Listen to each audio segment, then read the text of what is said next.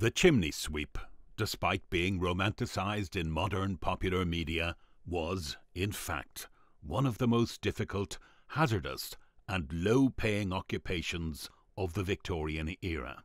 Not only was it a dirty job, but it carried huge risks, often for the boys that were apprentices to a master sweep, for only they were small enough to navigate the narrow flues of townhouses. From the constant risk of fire catching a building alight, being trapped and suffocated to the myriad detrimental effects on bodily health.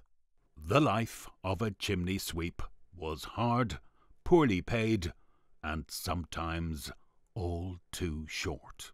But, as if that wasn't hard enough a life to lead, for some boys in 19th century London, even to make it to adulthood and be in receipt of a profession was no mean achievement.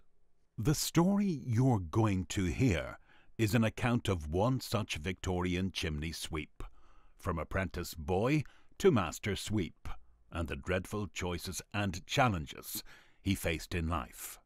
The account is taken from Street Life in London, 1877, by John Thomson and Adolphe Smith, and is narrated in the words of Smith.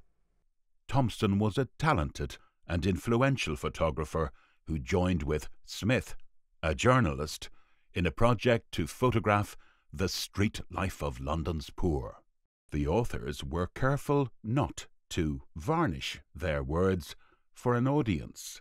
What they saw and heard accurately reflects their interactions with everyday people and genuinely immerses the reader in authentic Victorian street life.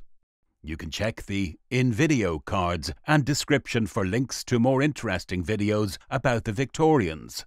In particular, we have Street Life in London from the same authors, which opens a window on more genuinely wonderful characters from Victorian London and the hard lives they led. Do check it out. Before we start, please consider clicking the subscribe button in the bottom right of your screen for more content like this. If you find this video interesting, I would really appreciate it if you could give it a thumbs up and share it widely with friends and family. These two things really do show your support and help the channel grow so I can bring you more. Thank you. Born in Lambeth, the son of a road mender, John Day was sent out to work when scarcely more than 10 years old. His father was decidedly addicted to drink and was in the habit of taking his son on Sunday to public houses, where drink was sold in defiance of the Licensing Act.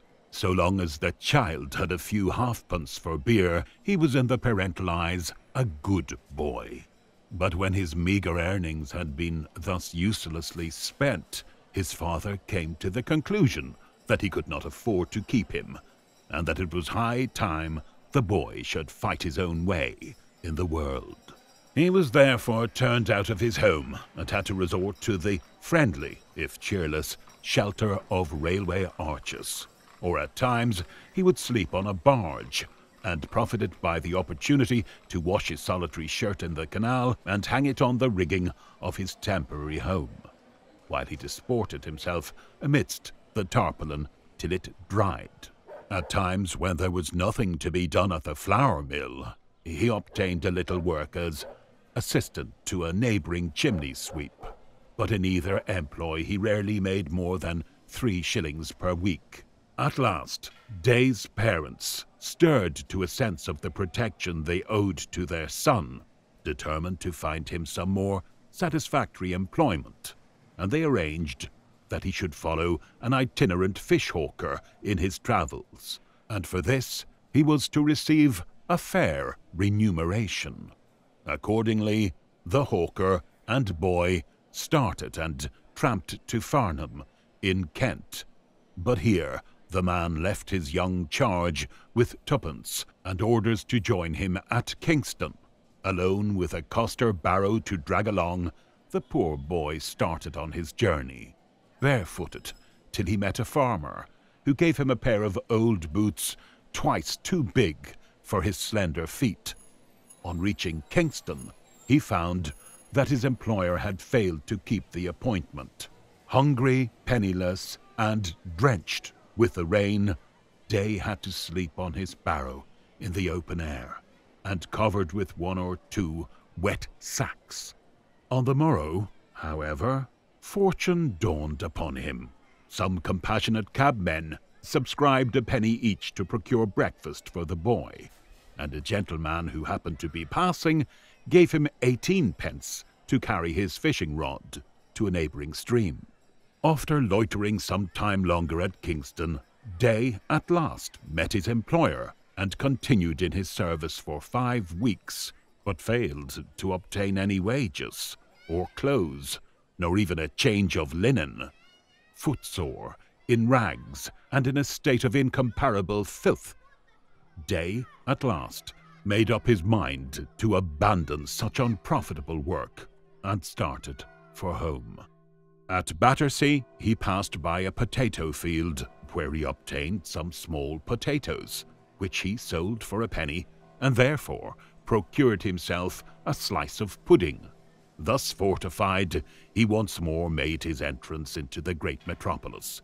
But as he neared home and met some friends, the boy's pride brought tears to his eyes when he noticed how they stared at the sorry appearance he presented. Even his parents were moved, and his mother actually gave him her own boots to wear. As Day grew older, he inherited his father's propensity for strong liquor and was often arrested for drunken and disorderly conduct. On these occasions, he took special delight in fighting the police. And when finally incarcerated, his clothes had generally been torn to pieces in the previous struggle. The bounty money offered for volunteers to join the Crimean army and the prospect of an adventurous career ultimately inflamed his desperate and reckless character, and he enlisted for the campaign. He was enrolled in the Transport Corps, served in the trenches before Sebastopol, where he fell ill with fever. The danger of this disease was increased by his intemperate habits. He remembers on one occasion spending, together with three other soldiers, two pounds in drink, and on this they succeeded in attaining that extreme stage of intoxication which rendered medical assistance indispensable, or their lives might have been sacrificed. On his return from the seat of war, Day's parents seemed once more to have shown some feeling, for, to use his own words, Father began to cry at seeing me, and of course I sent for beer, and that soon stopped the crying. This burst of affection was, however, of short duration, and when the soldier had spent all his money, he was again turned out of his home, and again resumed his old calling as chimney sweep. He then happened to meet a man who used to clean the pans and boilers at a candle factory, but who was generally so intoxicated that he could not do the work, and consequently employed Day in his stead, giving him about quarter of the money. In time, however, he was forced into the workhouse, and Day succeeded to the post, which is worth about two pounds per month. Though Day received so little from his predecessor, he nevertheless allowed him three shillings a week while he remained in the workhouse. But he soon died. This miserable end, together with his previous experience, served as another warning of the evils of intemperance. Day, nevertheless, continued to drink steadily till 1864, when Garibaldi came to Nine Elms. Day celebrated the occasion by getting even more drunk than usual. But on the morrow, while intent on resuming his libations, he chanced to obtain a glimpse of his own countenance reflected in a public house mirror. His bleared eyes his distorted features and ignominious, degraded appearance produced so sudden and forcible an impression that he turned round to his friends, confessed that he had wasted his life, was but a miserable fool, called for a penny glass of beer, and swore that it should be the last. Of course, they merely laughed and jeered, and thought he had not yet recovered from the excesses of the previous night. But, to his credit, be it said, John Day was true to his word, and from that time he never again touched any intoxicating liquor, or even smoked a pipe of tobacco. The latter, he assured me, was the most difficult to abandon. To this newly acquired sobriety, monetary prosperity soon ensued. He is now the happy father of a large family. He lives in a house near Lambeth Walk, where he once humbly worked in the capacity of a mere assistant. As a master sweep, he has an extensive connection. The money he earns enables him to subscribe to several benefit societies, and he is entitled to receive from them ten shillings a week in sickness, while his wife will have forty-six pounds given her at his death, or he will receive eighteen pounds should she die first. Altogether, he is both prosperous and respected throughout the neighbourhood, where he ardently advocates the cause of total abstinence, and is well known as the temperance sweep. Chimney sweeps of the present day have lost one important source of income the soot they so carefully collected and had to sift from the cinders and ashes taken away from the grate at the same time has no longer any great marketable value. It was used extensively on meadow and on wheat land, where it was especially beneficent in its effects by destroying slugs and other injurious animals. As much as a shilling a bushel was therefore given for soot, but the recent introduction of new manures has reduced the price of soot to about threepence or fourpence per bushel.